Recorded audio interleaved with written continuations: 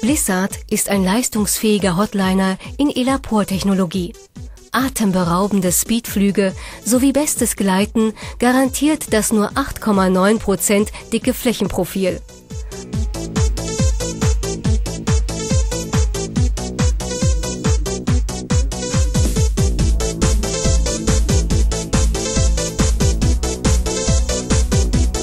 Auch das Thermikfliegen kommt nicht zu kurz.